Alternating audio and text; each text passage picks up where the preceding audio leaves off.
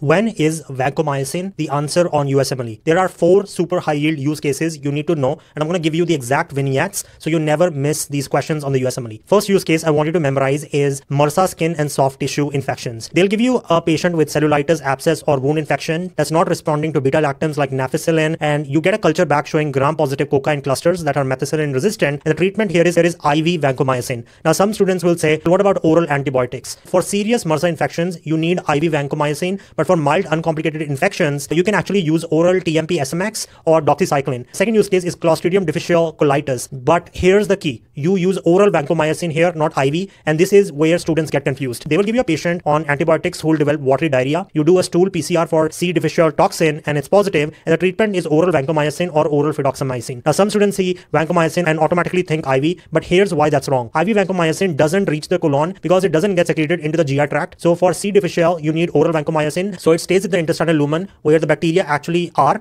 and that's very, very high yield. Third use case is the empiric coverage of bacterial meningitis. They'll give you a patient with fever, headache, nuchal rigidity, and before you even get lumbar puncture results back, you're going to give them vancomycin plus ceftriaxone. Well, why vancomycin? Because you need to cover drug-resistant strep pneumonia, and ceftriaxone alone might not cut it. So you add vancomycin to make sure you're covering resistant strains until you get culture sensitivities back. Fourth use case is MRSA pneumonia or endocarditis. So hospital-acquired pneumonia with gram-positive cocci in clusters or IV drug user with tri tricuspid valve regurgitation and positive blood cultures for MRSA. The treatment here is IV vancomycin, and for endocarditis specifically, you often add gentamicin or rifampin for synergy. But vancomycin is your backbone antibiotic for MRSA bloodstream infections.